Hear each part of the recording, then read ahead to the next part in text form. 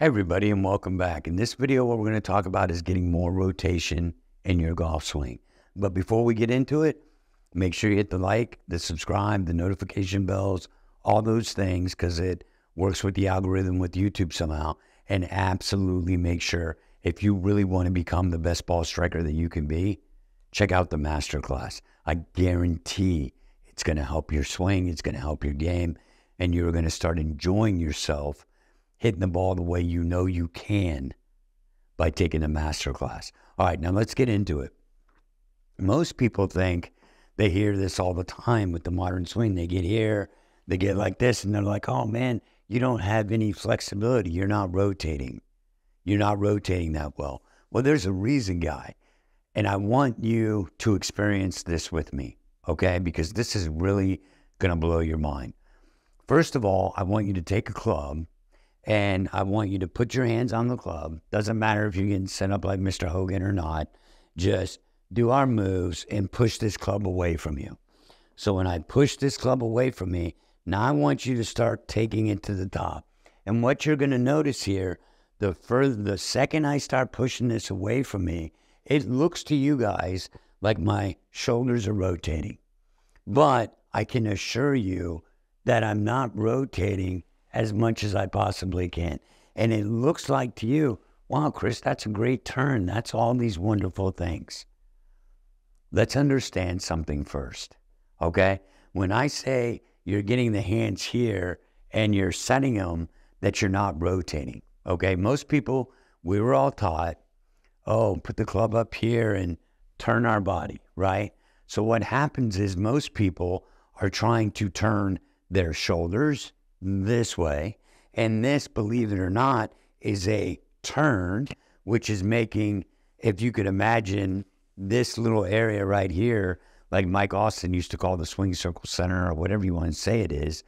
But if I'm turning this from the outside and I think I'm, I'm rotating, I'm actually turning.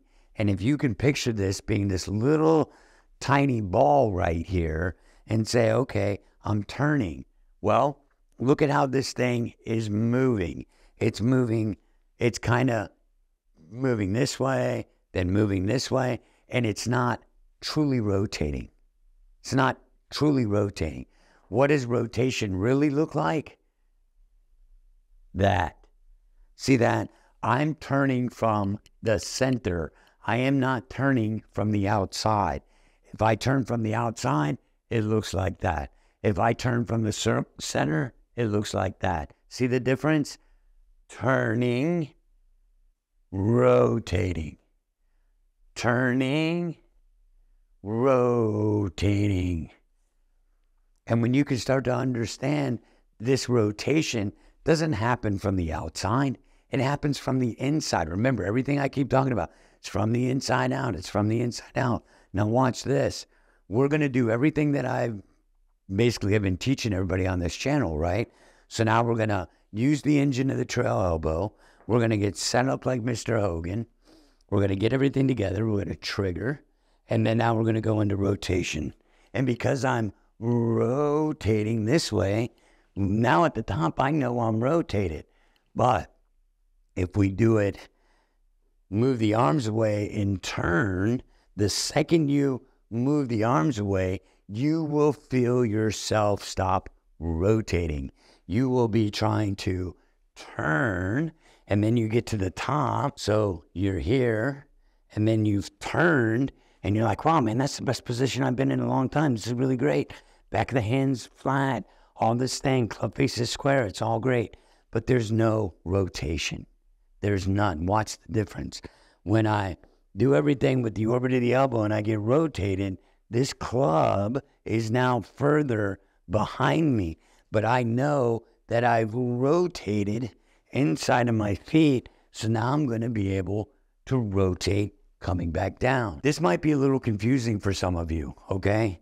But you have to start thinking rotation is not from the outside of my shoulders and me trying to turn. Rotation is from this center point and I'm rotating it. And when you rotate it inside of your field, you'll feel like what I'm doing. See, I'm out of breath just a little bit because it's not because I'm out of shape. It's just because I'm rotating. And you can see the stretching of all this. And even on my little belly here, right? It just, I'm rotating inside of my feet.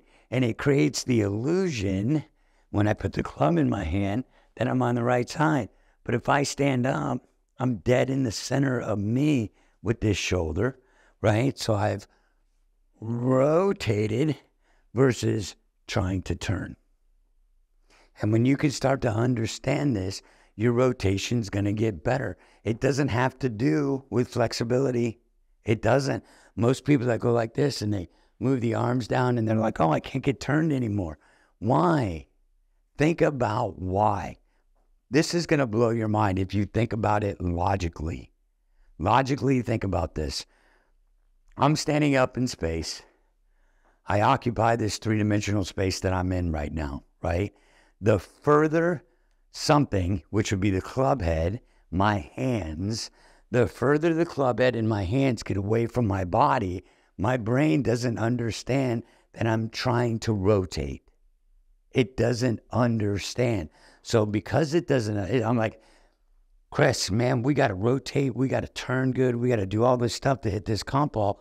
But all of a sudden, I start taking the club away from me. And my brain's like, wait a second, you said we were just going to turn and rotate. But now, because it's moved away from me, and I, at this point, I have nothing left but to activate the hands and all the stuff because my body will stop rotating to protect me. Think about that. So all of a sudden, it's like, wait a minute. Now you can do this drill. Remember, I said, do this drill with me. So when you come here, now start coming up, and you'll be like, the second you're here and you start coming up, you will feel this. It won't turn. It will not. Try it. You'll be here and you're like, okay, start coming up. It'll feel like it shifts a little bit like this seesaw thing, but it's not rotating still. And the reason for it is you are signaling your brain. Your brain's like, okay, we're going to get this great rotation. Let's move it here. Let's start setting these hands are what they call the wrist hinge. The second the wrist hinge happens, the rotation stops. And I'm telling you right now, get to here and then try to finish your backswing, and you will feel this will not rotate anymore. It's not an illusion, it's not a trick. Try it for yourself. But here's the beautiful part about it we're going to get here and we're going to do everything that I talk about, right? So we're like, okay, we're going to move the engine in the elbow, we're going to keep the elbow in its orbit, and we're going to rotate. Now, because all this is going, and my intent is to really rotate, not push the club away from me, you will be, oh my God, I am rotating more than I ever have been in my life. Because your brain knows what you're doing. Going around your body in the orbit of the elbow, following the structure, following the concentric circles that Mr. Hogan talked about. Concentric circles do not get elongated. Concentric circles do not go vertical. They are concentric circles around a tilted spine, tilted spine. So these circles are going this way, on here, here, here, at a, not standing up straight, they're tilted forward. So watch this. Even with my hand, if I put it, here's this concentric circle. Staying on the damn thing, guys. Now I can rotate. And that's what rotation is. If the body's trying to rotate, but the hands are pushing away, guess what's going to win the race? Your brain goes, wait a minute. We were trying to rotate, but my God, now we got to get power from somewhere else. Let's set the hands, go to the top, and then try to make all these good rotational moves. Can you do it? Absolutely, you can do it. Are you going to be the most efficient ball striker you could be? Absolutely not. Absolutely not. Because when you trigger one thing, the you have to understand, your brain is so fast and how fast it can process it something, and it's also really fast at trying to compensate for what you're doing so the system doesn't get hurt. So your brain's going, okay, we're going to rotate, we're going to do all this stuff, but now you're going to push this club down the line. And the second I I'm starting to rotate, so I'm going to try to rotate. Ooh, that's it. That's the end of it. So the only power source I have left now is to lift the hands. And everybody goes, oh, I'm not flexible. I'm not this. No, it doesn't have to do with flexibility. It has to do, you're sending the wrong signal to the computer in your brain that is going to get your body to move efficiently to support the path of the hands. The hands are supporting the path of the club head, concentric circles. They're all working inward, outward. But the more you can start understanding rotation is happening right here, right there, all day long, just like this. It is not happening from here, here. This is not rotation. This is turning. Okay, here. Let's try to turn some more. Won't go anymore. But if I get here and I think, okay, I'm going to rotate, just like this. You guys have seen me talk about the pulley drill. Why is the pulley drill so important? Watch this. In the pulley drill, I'm never going to go this way and pull the rope. I'm going to pull it. Look at that. And when I pull it to its max, look how I've rotated. Pull it to its max on the other side. Look how I'm rotating. I'm not going turn, turn, I'm just not. It is rotation. What rotates? T12 through T1 in the spine.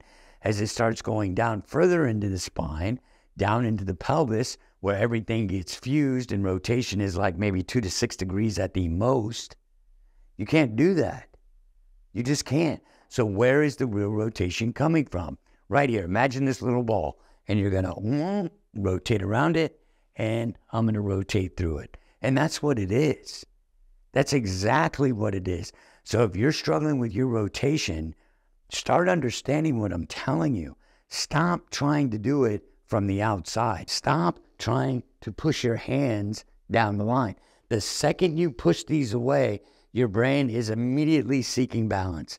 Because when I do this, most of my majority of my weight shifted over to my right. So that that is a counterbalance move of my body to try to counterbalance what I'm doing. So if I move the club away from me and then pick it up, I feel like I've got this kind of halfway good turn in my lower body. I think that I'm turned here, but I'll never get the depth. I pick it up, then I'm going to drop it in the slot, then I'm going to try to turn. Too many things that happen in 1.2 to 2.2 seconds of motion. You have to be able to take the governor off so that you can start rotating and swinging as efficiently as you possibly can. And when you understand, move the hands away from the body, rotation shuts down. Do the drill yourself. And when you do it, pay attention to your center. Don't pay attention to the outside. So you'll be like, okay, Chris said, let's push that club away from me. And now I'm going to try to move it around me. I'll be damned I am not rotating anymore. You're going to feel like you're shifting and doing turn, maybe turning a little bit, but you're not rotating. But now, if you follow the path of the concentric circles in the orbit of the elbow, you'll start getting like me. And let me tell you something I'm 52 years old. I'm out of shape. Give me a break. But I can rotate, period. I can move correctly inside of my three dimensional space that's going to allow me to improve my rotation. And guess what? If I can do it, you better believe you can do it too. But you have to start looking at it from the right perspective. What perspective is that? You and the way that your brain sees it. If you see it this way, nope, your rotation's going to suck. Okay? It absolutely is. Because what is a wrist hinge? Okay. I have a really good friend of mine. He's actually a business partner with me. His name's Jamie Adams. Okay. And Jamie's up in Chicago. I'm down here in Florida. But Jamie and I talk on the phone all the time. And we were kidding around a couple nights ago. And it's kind of like, you know, how do we really go about explaining this rotation stuff to people? Well, my first response to him was, hey, man, a wrist hinge is a mechanical failure. And he's like, I'll be damn, you're right. Because it is. All right. So watch this. What do I mean by mechanical failure? So all of a sudden we're coming down here. We set the wrist. This wrist hinge is a mechanical failure because what's happening is you have to set the wrist because you're no longer rotating.